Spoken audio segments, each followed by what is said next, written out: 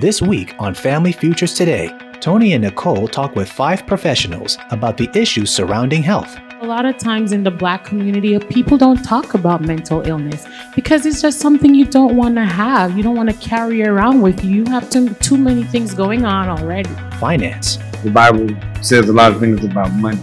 And one Yeah, of the it things, one of the key things is that money answers all things. Yes. And so Yes. we don't have to, because everybody gets afraid, ooh, the love of money is the root of all these. No, it's the love of money. It's it's the, the misuse or the mishandling of money. and more.